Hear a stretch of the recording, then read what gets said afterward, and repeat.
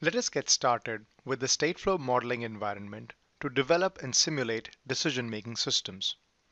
To access Stateflow blocks, click the library browser icon in Simulink and navigate to the Stateflow block library.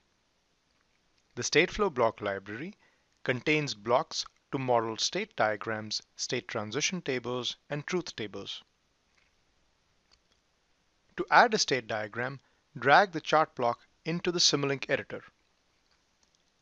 Let us design a system that switches between two states based on the value of an input u. For this example, I added the sine wave block to provide the input u and the scope block to view signal values. Both blocks can be found in the Simulink block library. Double-click on the chart block to open the Stateflow editor. In this editor, you develop state machines by dragging graphical objects like states and junctions from the palette on the left. For our example, drag a state object and change its name to on. Similarly, create another state object off. This system should transition from the state on to off when the value of the input u becomes less than zero. You can model transitions between states by connecting them with the transition object. This transition should be taken when u is less than zero.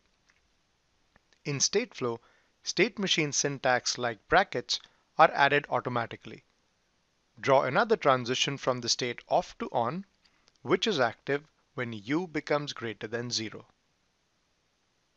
Place a default transition onto the state on to define which state the system should start in. To perform actions in states, type the commands in the states directly. In our example, we will send an output of 1 to Simulink when the system enters the state on and an output of minus 1 when it enters off. The keyword entry is added automatically and marks that this action executes as soon as the state is entered. To learn more about objects and keywords in Stateflow, right-click on the object and select Help.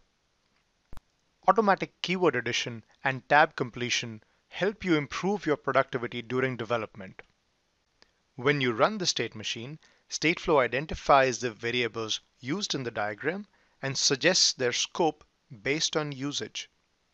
In our example, since U is only being read from, it is suggested as an input. And since Y is only being written to, it is suggested as an output to Simulink. I can of course change the scope of the variables if needed. Notice that in the Simulink editor, the chart block now has an input port and an output port. Connect the Stateflow chart with the input and output. You are now ready to run the state machine and visualize its response.